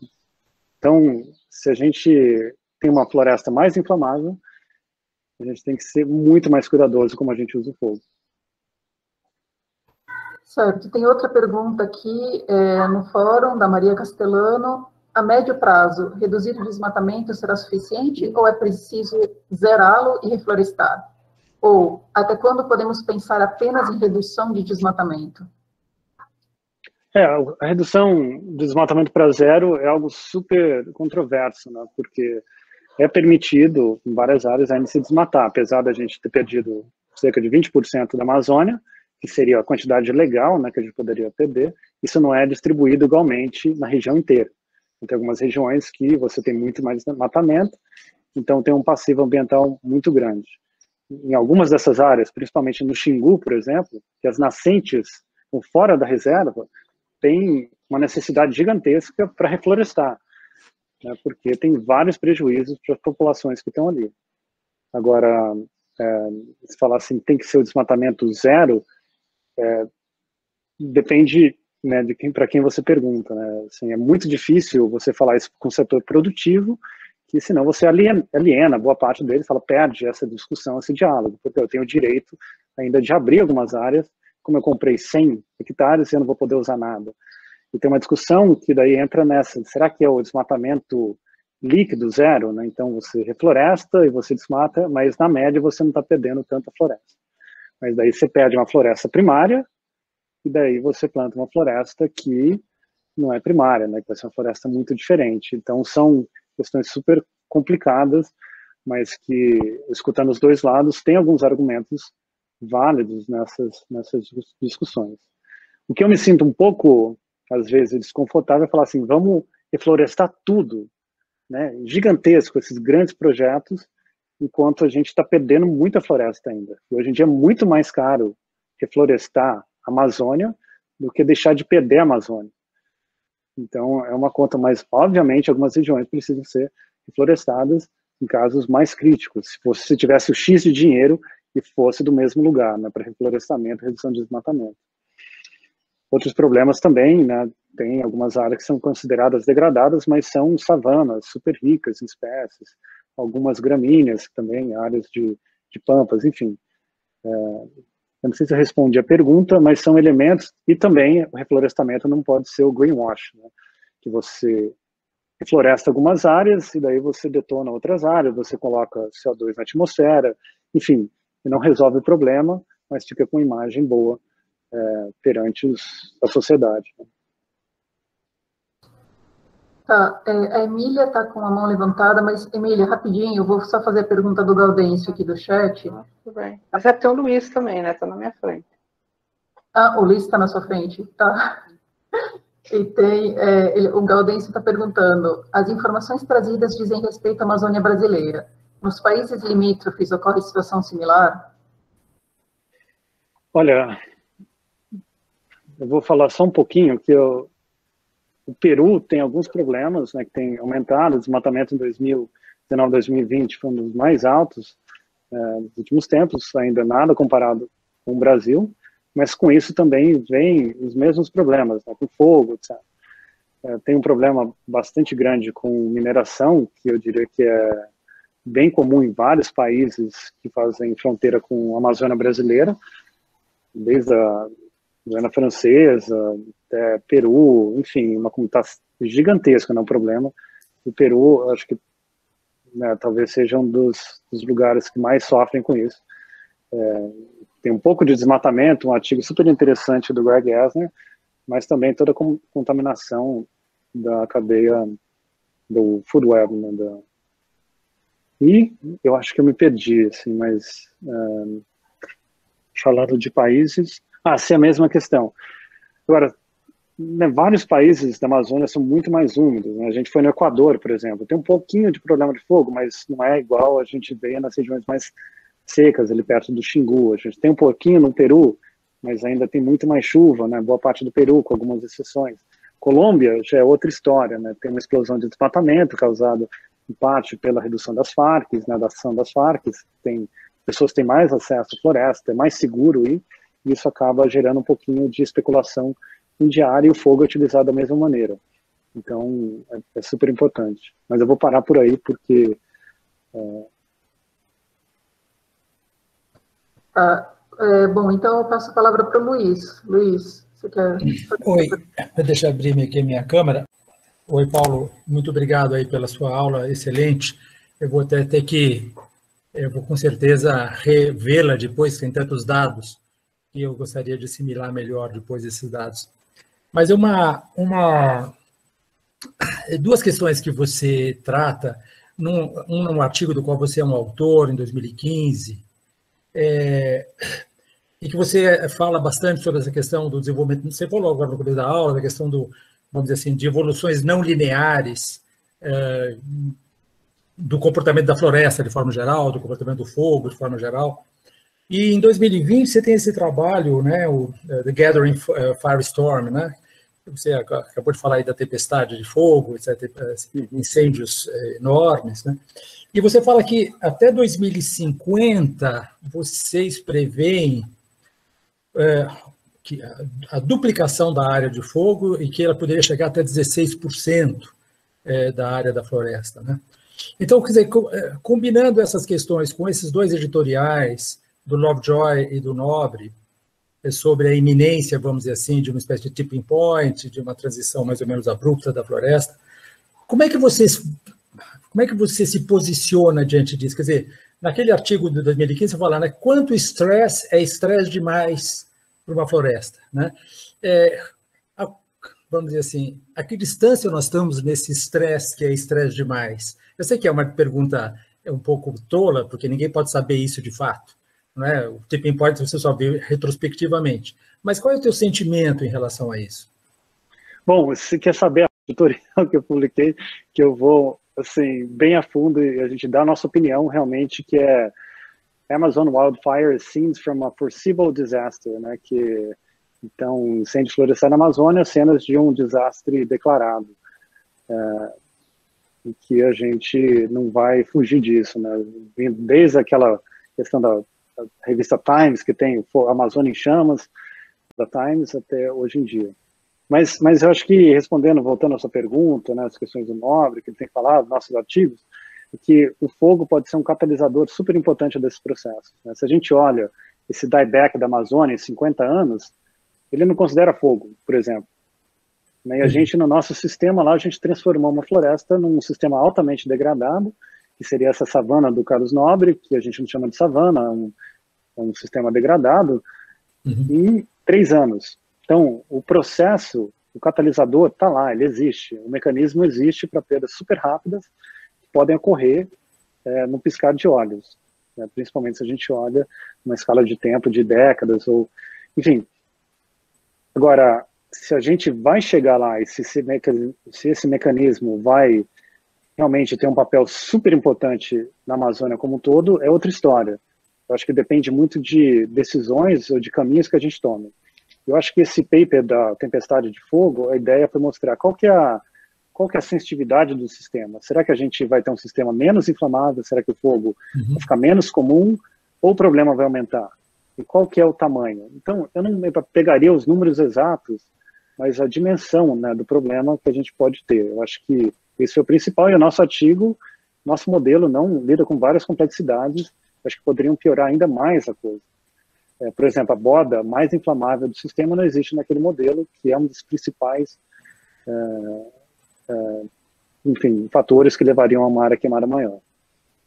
O Nobre fala de, no artigo dele, de 40% de desmatamento na Amazônia, a gente teria o tipping point. A gente começa a degradar outras áreas. Mas recentemente ele fala de 20%. Exato. 20, e a gente está lá, né? É, a gente vai dar um passo e vai entrar nesse tipping point, porque a gente já vê alterações na Amazônia.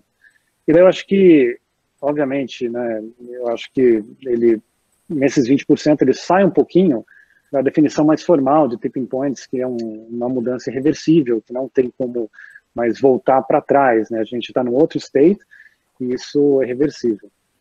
E eu vejo muito mais como mudanças ocorrendo em toda a Amazônia, não importa onde a gente esteja.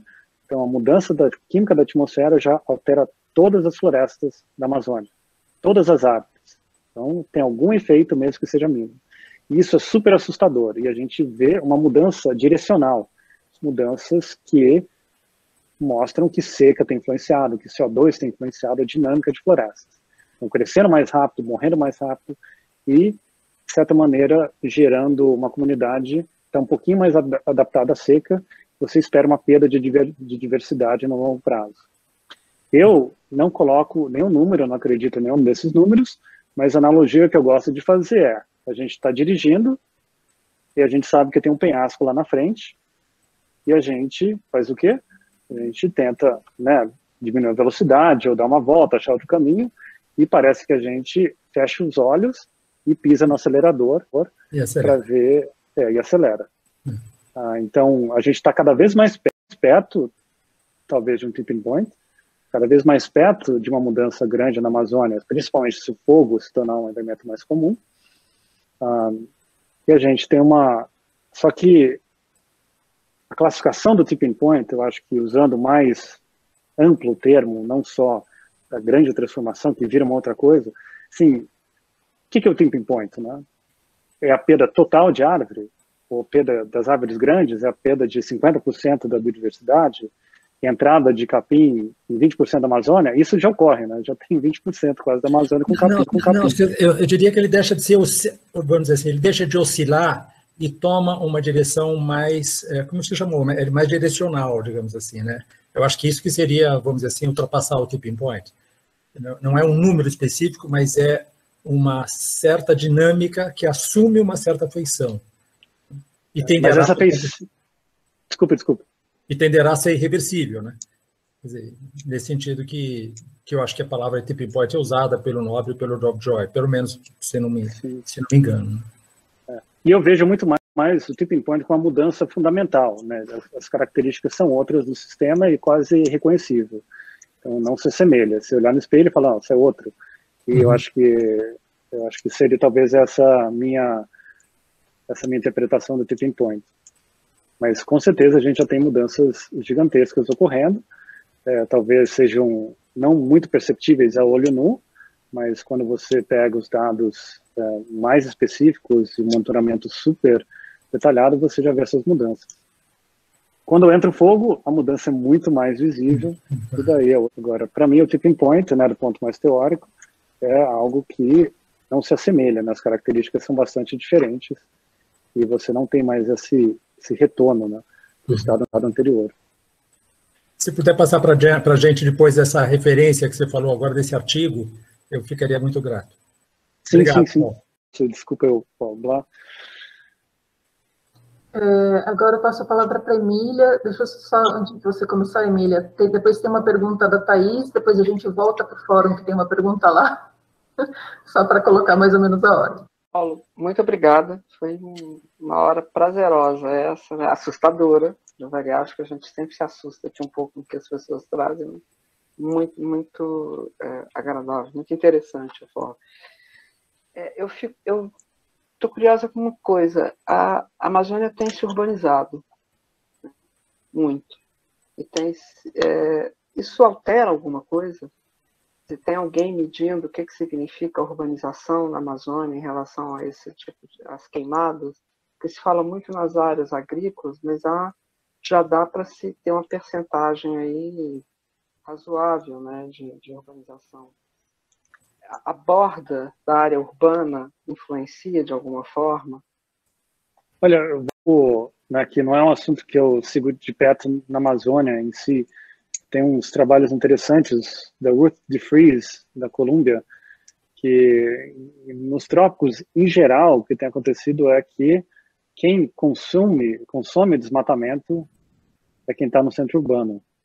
Então está mudando um pouco. Alguém pode ir lá e desmatar, mas tem alguém muito sendo tendo um peso maior nesse processo, tendo uma importância maior, conforme as cidades crescem e consomem mais, ser é uma grande preocupação, um mecanismo que divide o que é certo do que é errado, o que é legal do legal, é, as cidades desempenham um papel cada vez maior em ser a força motriz do desmatamento. E, e o The Freeze mostra um pouco disso, não só para a Amazônia, né, mas também para o Sudeste Asiático, principalmente com óleo de palma, né, cobrindo várias áreas e os centros urbanos crescendo, e sendo responsáveis pelo aumento do desmatamento em alguns locais. Dentro da Amazônia, isso faria alguma diferença para essas regiões queimadas? Quer dizer, tem alguma relação mais direta? Tem alguém se preocupando com isso? Que as cidades internamente, a Amazônia tem se ampliado, né? Olha, é uma boa pergunta. Eu não tenho uma resposta. Assim, o meu guess, né, o que eu pensaria é que é, algumas cidades, conforme elas ficam um pouco mais, acho que estabilizadas e tem uma governança maior, você não tem tanta floresta no entorno, você não tem um grande uma interface com fogo, é, a não ser algumas cidades com madeireira, tal. Mas isso eu acho que é nesse boom da urbanização, né? Quando está explorando a fronteira. É, eu posso estar errado. Manaus, eu acho que são casos, tem um caso um pouco diferente, que tem né, um aumento de fogo ali com a urbanização e no, no entorno, mas eu não sei o tamanho do problema é, em geral. É, mas eu não, é, eu não posso, acho que fazer uma análise muito profunda não sobre esse, mas é um tema super importante, eu fiquei até curioso, vou procurar dar. Se souber alguma coisa, avisa, mandar alguma informação a respeito, tá bom? Tem que lembrar que eu fiz, sou um ecólogo de casca de árvore, de torre de fluxo, né? trabalho com conservação. Ah. Thaís, você quer fazer sua pergunta? Só complementar essa, é sobre esse assunto? Sim, vai lá, Matias. A Thaís me permitir. Ô, Paulo, obrigado pela palestra, muito legal. É, e, e, eu queria falar sobre isso que a Emília falou, né, sobre urbanização eu não sei muito sobre urbanização, mas uma das questões que tem sido muito discutidas é o efeito da aumento da infraestrutura e principalmente das estradas, né, da infraestrutura viária ali é, na região da Amazônia, principalmente relacionado às hidrelétricas. Então, tem os trabalhos do Fernside, acho que é do, é do Lawrence, né, mostrando como ao é, só o fato de existir um grande projeto de, de hidrelétrica, por exemplo, isso gera, traz associado uma infraestrutura de rodovias que facilita o acesso dos madeireiros e dos desmatadores, dos grileiros a regiões que antes eram muito inacessíveis. Então, tem toda aquela estrutura da espinha de peixe, né, que vai se a partir das rodovias vai se formando uma, uma trilha de desmatamento perpendicular. E, e, e, alguns trabalhos mostrando, então, que isso, boa parte dessa, eh, dessa demanda por energia elétrica está associado a um processo de urbanização e industrialização. Então, indiretamente, acho que é, tem um impacto grande, Emília, só para tentar complementar. Obrigada, hein, Matheus. A ti. Valeu. É, tá aí.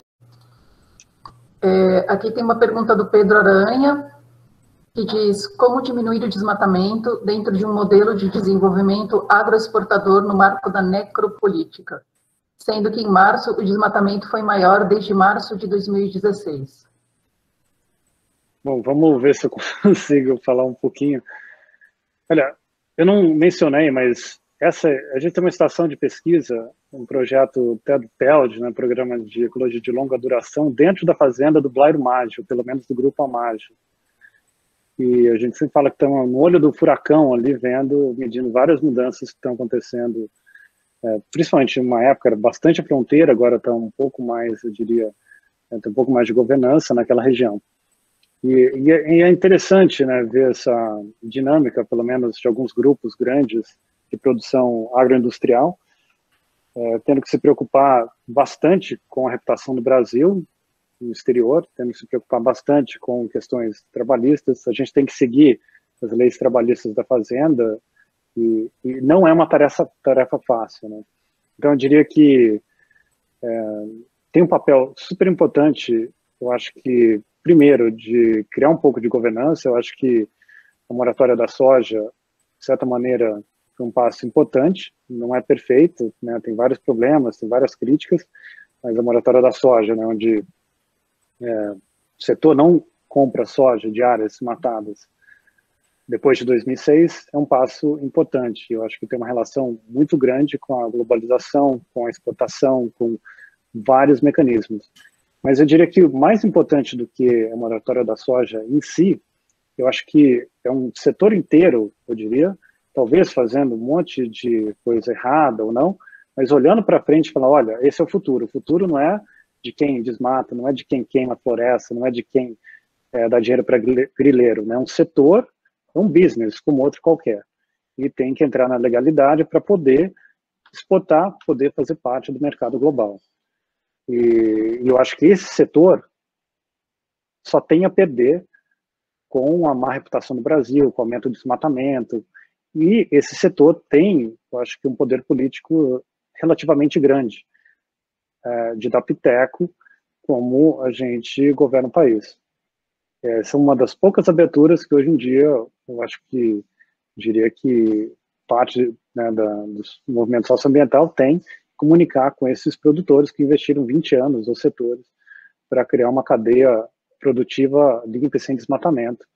É, agora, quem exporta para a China talvez não tenha o mesmo critério, né? Eu acho que teve toda uma questão, ah, mas se a Europa parar de comprar porque o Brasil desmata, a China compra. Né? O Brasil realmente exporta, principalmente a região do Mato Grosso, 80% da soja para a China.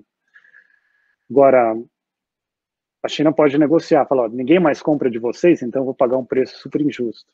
Então, os produtores têm uma preocupação grande, em geral, é, eu acho que de manter uma reputação, principalmente aqueles que investiram muito depois na, na moratória da soja, investiram bastante que na reputação, investiram bastante em tirar o desmatamento da cadeia produtiva, principalmente algumas traders. Né? O produtor tem menos, eu acho que a perder reputacionalmente, mas as traders têm muito a perder, principalmente uh, as que estão lá fora colocando a cara para bater. Né? Eu acho super interessante o trabalho da Três, que eles fizeram, por exemplo, né? mostrando que 2% dos produtores tem desmatamento ilegal na cadeia produtiva de commodities no Brasil, é, principalmente da Amazônia, mas isso acaba avermelhando ou manchando né, 20% da exportação do Brasil. Então, 2% dos produtores, que são os bad apples, né, são as maçãs estragadas, 2% acabam estragando o setor inteiro, claro, uma proporção grande.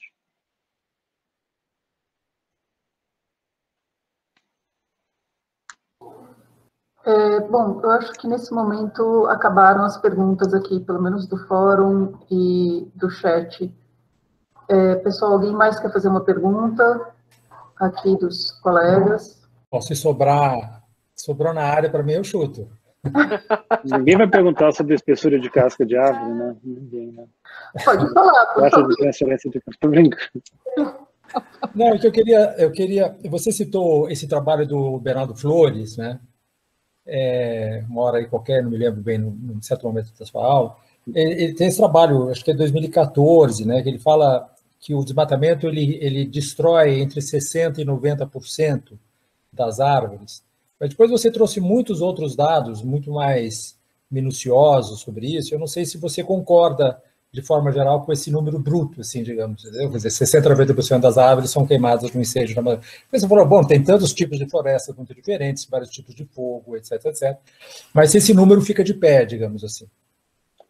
Primeiro, né, intenso fogo, mais árvore se perde. Então, a gente saiu de 10% de árvores pequenas, nos nossos primeiros incêndios ali, fogo, para 90%, incluindo a árvore grande, quando o fogo foi muito intenso. Então, isso foi o que a gente viu. Quanto mais combustível, maior a seca, mais folha cai, mais secura tem do ar, tudo isso, mais uhum. intenso fogo, mais árvore morre. E árvores maiores têm cascas mais grossas e daí elas resistem. E a casca uhum. é, se tiver uma casca acima de 2 centímetros de espessura, a chance de sobreviver é muito maior. No caso do Bernardo, o trabalho dele foi muito mais florestas alagadas, igapó, uhum. né? E você ah, tem ali toda uma. Eu lembro que eu acho que foi ele que fez uma apresentação, alguém do grupo.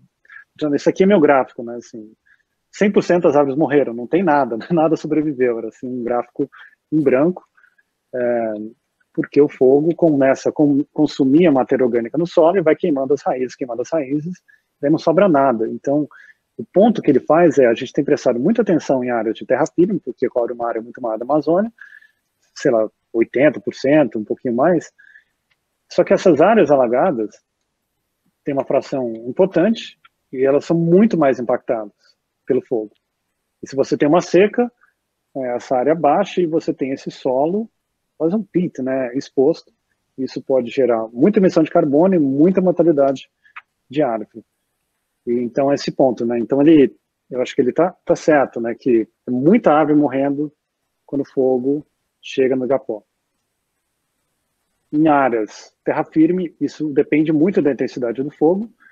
Normalmente o fogo ocorre quando está uma seca muito brava. Uhum. Então, em Santarém, por exemplo, uma mortalidade de árvores gigantesca que aconteceu. E o Daniel Nepes ficou ali cinco anos tentando colocar fogo na Flama Tapajós, um pedacinho, nunca conseguiu, porque era muito ruim. De repente queimou, quase tudo morreu. É. Então, essa, essa relação é muito não linear, eu diria que pode ser muito pouco uh, impacto impacto muito grande. Só mais um pontinho sobre isso, é que a gente vê a mortalidade depois do fogo, teve um pico. Só que a gente, depois de 10 anos que a área foi impactada pelo fogo, as árvores grandes morrem uma taxa duas vezes maior do que a floresta controle, não queimada. É quase uma árvore fumante, né? Que ela foi danificada ali e a estrutura dela foi danificada, ela está apodrecendo por dentro, ela está ficando mais frágil. Se tem uma tempestade de vento, ela vai cair muito mais fácil. Ela tem o sistema todo hidráulico dela também comprometido, então ela morre de sede certa maneira, porque os vasos não conseguem transportar água. Então, você tem uma degradação da árvore em si, então a vida dela vai ficar mais curtinha, e isso normalmente a gente não leva em consideração, né? que é um processo de 10 anos, talvez até 20 anos, afetando a floresta em fogo. Tem... Desculpa, Interessante, Paulo. obrigado. É, tem... Gabriela. Com a mão levantada. Você quer falar, Julie? Uma... É, não, eu queria só pegar uma carona no que o, o, o Paulo acabou de falar. É, obrigado pela aula, foi excelente, Paulo. É, eu acho que a, a, a, a, uma das grandes diferenças é, é, com as florestas igapó é justamente o que você mais estuda. Florestas igapó, elas praticamente não têm casca de árvore. Não tem porque parte das adaptações delas para sobreviver naquela inundação depende de uma casca que consiga responder morfologicamente, tendo um, um super desenvolvimento de é, pontos que vão permitir a entrada de oxigênio. Então, elas são praticamente sem casa. Na hora que pega fogo, é um paliteiro para queimar. Não, não sim, sim, sim. que o trabalho do Flores mostra que é, um, que é devastador realmente é, nessas áreas, quando elas estão secas, né? E elas ficam secas uma, uma uma parte, pelo menos dois a três meses do ano, elas passam praticamente secas. Então, é um risco muito alto. É, e a queimada das raízes também, acho que são esses dois fatores. Queima tudo. As raízes são mais superficiais, então é tudo dado essa adaptação às áreas alagadas. Isso é uma enorme vantagem quando elas são alagadas, permite que elas vivem lá, mas se tornam um, uma fragilidade no momento que é exposto a um estresse ao qual não, naturalmente não deveria acontecer naquela, naquela tipo de floresta. É, não, e uma outra coisa, tem a mortalidade, né, mas aí tem a resiliência que eu falei, a recuperação, que eu acho fantástico, assim, o trabalho dele de mostrar que, olha, é muito lento, né, o processo recuperação. A nossa até que rápida, né, tem um monte de área, pioneira chegando, até ó, a evapotranspiração da floresta queimada, parecida com a floresta primária, depois de 10 anos, a produtividade é parecida também, a diversidade completamente diferente. E me assustou muito, né, quando eu fui lá para o Novo México com um pesquisador, o, nossa, fugiu o nome dele, mas enfim, ele mostrou uma área que queimou à noite, no ano, a área queimou de novo no ano de seca, a floresta estava toda bonitinha. A outra área não queimou nesse ano à noite, né, ela queimou só no ano de seca, 10 anos atrás não tinha uma árvore viva, não tinha um pezinho de planta, não tinha nada, porque não tinha banco de semente. Então, todas as árvores adultas morreram, não teve regeneração. Então, naquele caso, eu diria que foi um tipping point, né? O sistema virou outra coisa e dificilmente vai se recuperar. O período de crescimento dessas árvores, né, dessas matas alagadas, é muito curto, né? Porque o período que elas estão alagadas, mais ou menos seis a sete meses, é uma fase desfavorável, elas estão sobrevivendo, elas não estão, é, elas não conseguem ter carbono sobrando para investir em crescimento. Aí quando a inundação abaixa, chega praticamente ao nível de solo, 30, 40 centímetros acima, começa uma fase favorável, que vai durar até a água no solo acabar. Depois, quando começar a chover de novo, vai passar três meses, dois a três meses seca, que também não, não favorece o crescimento. E aí, quando começar a chover, ela vai ter uma fase de um mês de crescimento. Então, ao contrário da terra firme, que você tem praticamente 12 meses para o crescimento, e a restauração, então, vai ser mais rápida, nessas florestas o período de crescimento é muito lento, é muito pequeno, é muito curto por ano. É legal, legal. É, Sonaira, você quer fazer uma pergunta? Sonaira Silva. Ah, boa tarde. Oi, Paulo. A gente se conhece. É, Sabia que você estava aqui, não? Ah, estou aqui, estou fazendo reciclagem. ah, desculpa pela, pela descontração. Eu sou professora na UFAC, no Acre, e estou fazendo a disciplina mais para aprender com, com todos vocês aqui. É, e, e, assim, eu queria fazer um, só um pequeno comentário sobre o que foi discutido agora, né, sobre o artigo do, do Bernardo, é que a gente está vendo isso, essa mortalidade maciça também em áreas de Campinarana, aqui no Acre. Então, que depois de duas queimas a gente né, tem uma mortalidade de, de quase 100% também. Então, é, é, complicado. E é justamente, acredito, por causa da, da questão da queima das raízes, né, que que mata completamente aquela, aquela vegetação, aquele ecossistema que precisa dessa estrutura como um todo.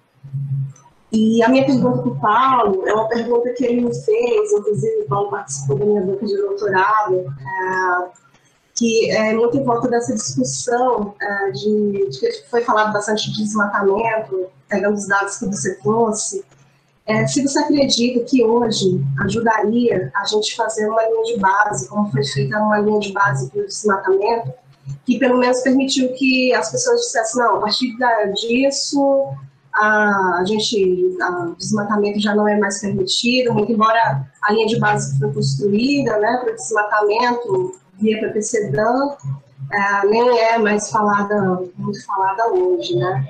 Mas pensando no fogo, né, para a Amazônia, que de verdade não deveria acontecer, mas pensando que a gente poderia colocar um, um limite, ou fingir que, que seja estipulado um limite mínimo de quantidade de fogo que possa acontecer. Você acha que é, como que você vê isso? Assim, se a gente poderia ter esse limite, pelo menos o fogo de desmatamento, fogo de reforma de pastagem e de agricultura. E eu poderia fazer só mais um comentário é, sobre essa questão da, da, das queimadas urbanas. É, eu não tenho nenhum estudo sobre isso, mas a gente tem feito um mapeamento de longa duração e um pouco mais de detalhes aqui no Acre, principalmente é, no entorno. E, assim, as queimadas urbanas, elas não contribuem no contexto geral, né, em termos de percentual. Mas, em termos de qualidade de vida das populações, isso afeta demais. Até porque ela dificilmente é contabilizada pelos focos de calor, porque a cidade é muito quente, né? Então, os focos de calor, eles já criam uma certa máscara para cidades para evitar falso positivo. Então, é, é, preciso investir no mapeamento de, de, queimadas, mas geralmente elas são de pequenas proporções para alguns terrenos baldios ou queima de lixo de fundo de quintal. Mas a influência disso para a qualidade urbana, ela é realmente mais, mais importante. E obrigada pela oportunidade. Então, Sonaira Souza, que apresentei aquele gráfico assustador de não ter fogo de repente tem um aumento exponencial. Foi ela que mapeou tudo, uma das grandes especialistas de fogo na Amazônia hoje em dia, poderia estar dando essa aula.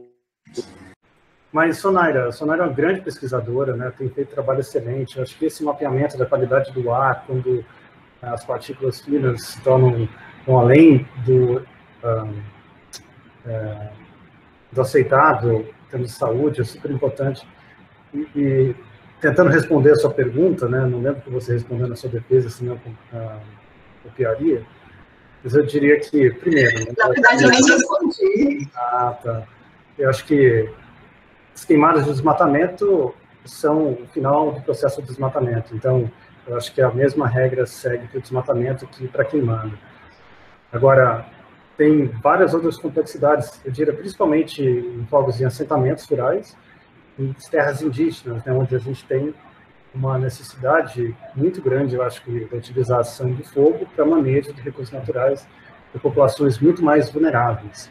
Tanto do ponto de vista, acho que, de, né, de fatores socioeconômicos básicos, mas também dos recursos naturais. Né? Então, se o fogo, na área do Xingu, de roça, escapa para dentro da floresta, é um dano gigantesco né, para as populações que estão porque você tem menos recursos, tem menos caça, você tem menos área para fazer roça no outro ano, e você vai ter que ir mais longe. Então, é um desastre para todo mundo.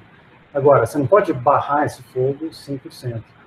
E daí que eu acho que a gente tem conversado bastante com os, as bombeiras do Mato Grosso para barrar, pelo menos, o fogo de desmatamento, o máximo que a gente pode, o que é ilegal, e começando uma ideia com os sensores, né, que você, o Foster e outros têm colocado em vários lugares. Então, se a qualidade do ar começa a passar de níveis aceitáveis, é, eu acho que é um, um indicador que a gente está queimando demais. A gente não deve passar desses, é, desses valores. Até a gente queria colocar em vários lugares do Xingu, para até empoderar essas populações e falar, olha, está queimando demais, a gente precisa de uma atuação rápida e urgente dentro dessas áreas. Agora, como construir esse modelo que tem fogo demais, é, exatamente, acho que vai muito além do que da minha capacidade.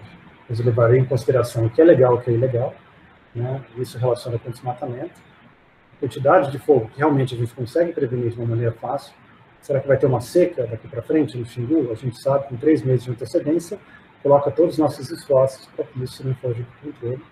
E eu acho que levar em consideração principalmente fatores socioeconômicos e de saúde é, é, dessas populações mais vulneráveis.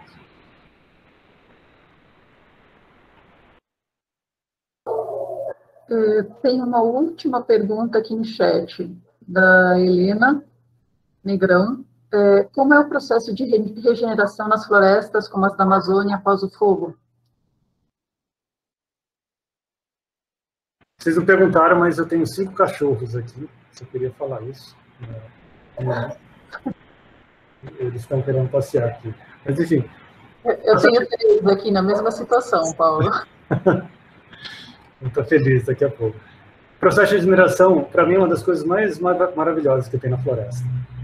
É, e é um processo super complexo, que normalmente começa com a polinização dessas árvores, então você tem o polinizador, você tem a produção dos frutos, você tem quem carrega esses frutos um pouquinho longe, são pássaros, tem um papel super importante.